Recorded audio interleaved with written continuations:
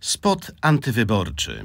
Poznajcie Anię. Ania ukończyła prawo i zrobiła za granicą doktorat z ekonomii. Zamiast pracować na emigracji albo w warszawskiej korporacji, wróciła do rodzinnego miasta, gdzie przejęła rodzinny biznes. Rozwinęła firmę z sukcesami, tworząc markę, która ze społeczną odpowiedzialnością tworzy miejsca pracy i wartość dodaną dla lokalnej gospodarki. Ma 10 lat praktyki zawodowej i tyle samo doświadczenia w lokalnej działalności społecznej. Jest znana i szanowana w swojej okolicy wśród osób o najróżniejszych poglądach politycznych. Wspiera działalność charytatywną i kulturalną, angażuje się w rozmaite społeczne i sąsiedzkie inicjatywy w swojej okolicy. Pomaganie innym i działalność dla dobra wspólnego to jej pasja. Ania pod wpływem zachęt osób, którym przez lata pomagała, myśli o starcie w wyborach do Sejmu. Żeby wystartować do Sejmu i mieć szansę na mandat posła, Ania musi wystartować z list komitetu, który zarejestruje swoich kandydatów we wszystkich okręgach, czyli zyskać przychylność partyjnej centrali w Warszawie. Te nie kwapią się do jej zaproszenia na listy, bo w energicznej i wykształconej kobiecie widzą zagrożenie dla swoich interesów i układów. Nawet jeśli któraś partia zgodzi się wpisać ją na dalsze miejsce listy, listy, Ania będzie musiała pokonać szereg partyjnych kandydatów, którzy nie cieszą się społecznym zaufaniem i mają słabsze kompetencje, ale za swoją wierność i bierność mogą liczyć na wsparcie z Warszawy i na dużo partyjnych pieniędzy na kampanię. Ania ostatecznie rezygnuje ze startu. Jak większość z Was ma kiepskie zdanie o partiach politycznych. Nie chce podpisywać się pod całokształtem dokonań żadnej partii i jej pozostałymi kandydatami. Chciałbyś żyć w systemie, w którym posłami zostają ludzie tacy jak Ania, a nie partyjni nominaci? Popieraj wprowadzenie indywidualnego